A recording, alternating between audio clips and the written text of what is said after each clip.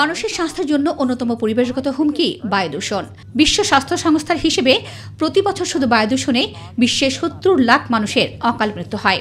এই সমস্যার সমাধানে বিশ্বজুড়ে বায়ুর মান উন্নত করতে এয়ার কোয়ালিটি গাইডলাইন্স আরও জোরদার করেছে সংস্থাটি।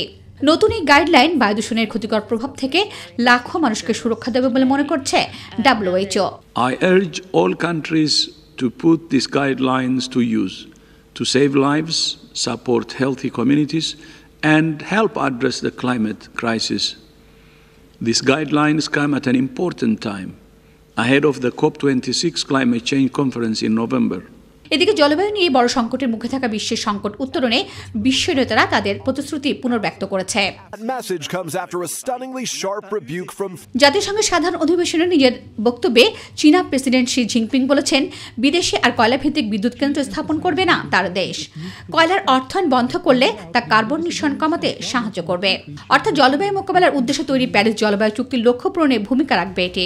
We must strengthen solidarity and promote mutual respect and win win cooperation in conducting international relations. Differences and problems among countries অন্যদিকে মার্কিন প্রেসিডেন্ট জো বাইডেন বলেছেন উন্নয়নশীল দেশগুলোর জন্য জলবায়ু পরিবর্তন সহায়তা দ্বিগুণ করতে চায় যুক্তরাষ্ট্র আর এজন্য তিনি কংগ্রেসের সঙ্গে কাজ করবেন বলেও জানিয়েছেন deliver for our own people, must also engage deeply বিশ্বের অন্যতম কার্বন নিঃসরণকারী এই দুই দেশের প্রতিশ্রুতিকে স্বাগত জানিয়েছেন জাতিসংঘ মহাসচিব Antonio Guterres The climate crisis have exposed profound fragilities as societies and as a planet.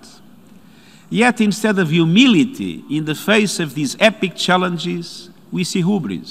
যুক্তরাষ্ট্রের প্রধানমন্ত্রী বরিস জনসনও তার ভাষণে জলবায়ু সংকট নিয়ে জোরালো বক্তব্য দিয়েছেন বিশ্ব উষ্ণায়ন রোধে বড় পরিবর্তন আনার জন্য বিশ্ব নেতাদের প্রতি আহ্বান জানিয়ে তিনি বলেছেন মানবতার জন্য এগিয়ে আসার সময় এসেছে that we are capable of learning and maturing and finally taking responsibility for the destruction we are inflicting not just upon our planet, but upon ourselves.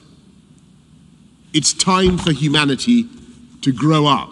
Marcia Mannan my TV